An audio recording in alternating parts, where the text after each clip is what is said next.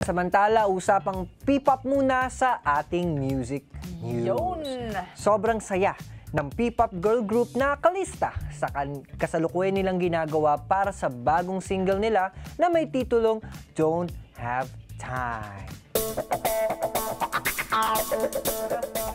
Sa isang pocket press launch ay ibinalita ng grupo na in the works na ang kanilang bagong kanta na may kolaborasyon sa mga Korean choreographers. Nice umano, second single po namin is Pure English. Pero uh, we're working on it naman po sa third single namin, Tagalog naman po. Ah, nasa ano, papunta lang po yung third single sa final stages. Yes. And Ano-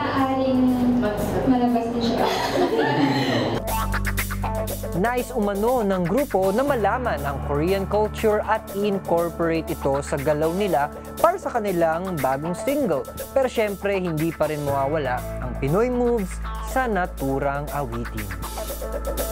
Kasi nga, syempre, Pilipino pa rin tayo. Hindi lang naman, um, dahil may Korean choreographers, sila na po talaga yung gagayahin namin. Pero hindi po, um, combination po ng Filipino and Korean. And by that po, we can promote din yung um, music po ng people all over the world. Ang girl group ay binubuo ni na Olive, Liza, and Denise L. at Dain. Sila ay kabilang sa talent management ni Tyrone Escalante. Actually, Ate Nigi, totoo naman eh. Kahit pa naman sabihin mo na they're adapting the Korean, moves, Korean, wala yes. namang problema doon kasi P-pop pa rin naman eh. The songs is Yeah, based on the yung ano pa rin, lyrics. diba? pa rin, yung mga moves moves lang ako kasi sa mga kanta. Oo, Sayo ni yung Sam Concepcion, alam ko na. Mga fashion, fashion nila. Marami Pero masama.